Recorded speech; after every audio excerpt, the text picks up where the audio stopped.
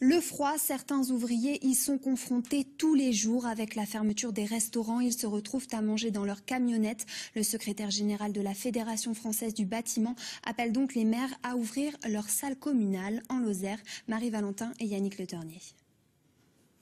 Une salade achetée à la boulangerie, des pâtes cuisinées la veille au soir, tout ça froid. Tony et Raphaël tentent de se réchauffer comme ils peuvent dans leur camionnette. Jusqu'à maintenant, ça va, il n'a pas fait trop, trop froid encore ici, mais quand ça va s'y mettre, ça va, ça va être dur. hein.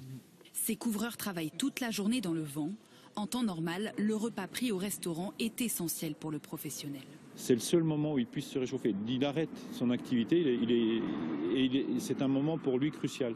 Si en plus on doit lui infliger de manger dans, dans des conditions euh, anormales ou dans le froid, c'est simplement pas tenable.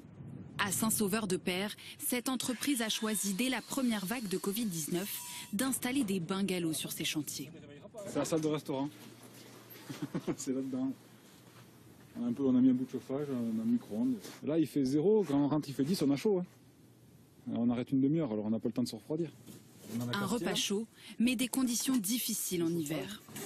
S'il fait vraiment, vraiment froid, euh, il faudra peut-être trouver autre chose, parce que là, c'est pas isolé. hein. Par chance, la restauratrice de la commune a décidé de les aider. Martine prépare des paniers à emporter, tout ça pour 13 euros.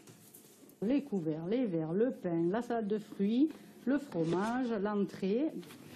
Bon appétit. Merci. À demain.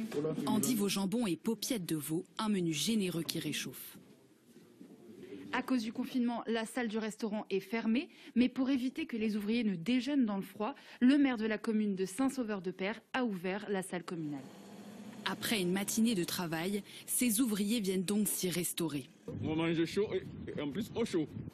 Michel Guiral est à l'origine de cette initiative. Il a demandé une autorisation à la préfète. N'ayant pas de réponse à ce courrier, à ce mail, j'ai pu avoir Madame la préfète au téléphone. Et moi, je la remercie parce qu'en fait, euh, donc, euh, on n'a pas d'interdiction de le faire.